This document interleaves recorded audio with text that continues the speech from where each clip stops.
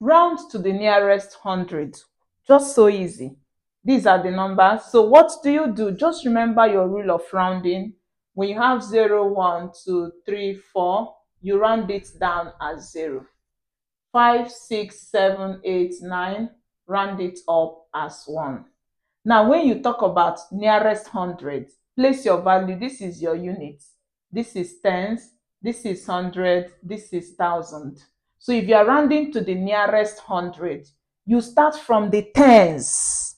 So for you to start from the tens, tens is in the family of one. Did you see? So you are going to count this six as one. So you add that one to this eight is going to give us four. One plus this is nine, and every other numbers turn to zero. So this is what you have.